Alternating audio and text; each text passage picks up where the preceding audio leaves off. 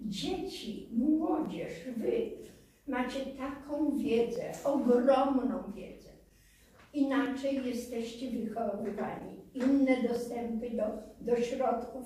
Nie, to sobie trudno wyobrazić. Dziecko wówczas, pięcio, czteroletnie, naprawdę mało wiedziało. Z nim się nie dyskutowało o takich sprawach, nie mówiło.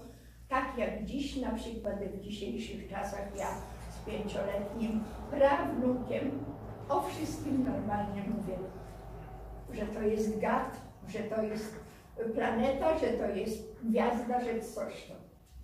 Myśmy takiej wiedzy nie mieli. Jeszcze pamiętam, wiesz co, pytasz mnie o tych żołnierzy. Nie, ja pamiętam inną rzecz bardzo brzydką. Kiedy,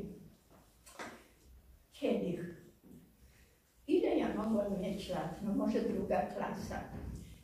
Umieliśmy śpiewać rotę. Ktoś nas musiał tego nauczyć, ja nie pamiętam. Zebraliśmy się we wsi z koleżankami. Przykre to wspomnienie, to które powiem, ale tak było. Nie wiem, czy, czy nawet tego to mówić. Jeśli to ma się gdzieś ukazać, to wolałabym tego nie powiedzieć. E, ale osoby, które zaśpiewały te dzieci, nie zdające sobie sprawy, że śpiewają rotę, a nam się podobała, bo rytmiczna, bo piękna. Ich rodzice odczuli to. No ale nie będę szczegółach mówić. To takie historie. Jak zachowywali się żołnierze w stosunku do mieszkańców wsi? E, Powiem, że z tego, co, co ja osobiście wiesz tego, ale z tego co wiem, to, to byli tutaj, nie wiem, były to bardzo dobre relacje z obu stron. Ludzie im pomagali, oni nie byli dla mieszkańców jacyś ciągliwi, czy niegrzeczni, czy nie. To były sytuacje takie, społeczeństwo chyba no, rozumiało, że oni są na wojnie, że oni walczą, że to są też ludzie, którzy są głodni i chłodni. Czy była Pani świadkiem egzekucji lub czyjejś śmierci? Nie, A czy na naszych terenach działała partyzantka? działała, no, ale na ten temat to myślę, że tutaj inni powiedzą bardziej, bo wiem, że, że na terenie Trzebieszowa jest Jak wyglądała sytuacja naszych okolic po II wojnie światowej? Jak wyglądało życie codzienne? Było bardzo ciężkie. Wszyscy ludzie byli biedni. Wszyscy ludzie byli biedni, ale wszyscy ludzie byli sobie bardzo życzliwi.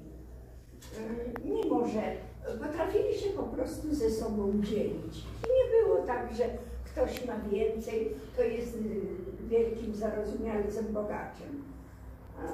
Czasami ta ówczesna władza im dokluczała tym bogatszym, nazywając im ich kułakami, a jacy to byli kułacy, jak oni też niewiele mieli. Ale powiem Wam, że, że ludzie byli dla siebie życzliwi, że sąsiadka jedna z drugą się podzieliła kawałkiem chleba, piekły chleb. Przypuśćmy raz na dwa tygodnie, więc y, pożyczyły sobie gospodynie, pożyczali sobie tak zwane ćwiartki prosiaka, mieli sobie prosiaczka, sąsiadowi to potem oddawał. Życzliwość była ogromna. Mieli czas dla siebie, żeby sobie, żeby się spotkać, porozmawiać.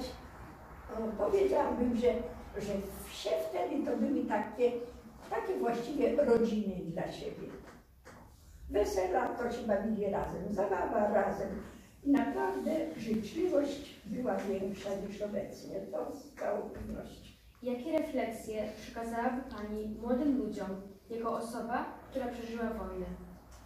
żeby nigdy nie doszło do wojny. Nigdy, nigdy, nigdy na żadnym kontynencie, w żadnym kraju, żadnej wojny, żadnej mm, dzieci.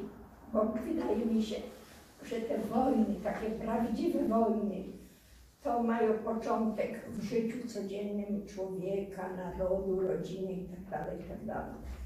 Po co ta zazdrość, bo ktoś ma więcej, te podboje. No słuchajcie, Wiemy, że tak nie powinno być. Przed Wami nowe życie, przed Wami rodziny, studia i tak dalej, i tak dalej. Czy chcielibyście przeżywać to lub Wasze dzieci, żeby przeżywały takie chwile? Na pewno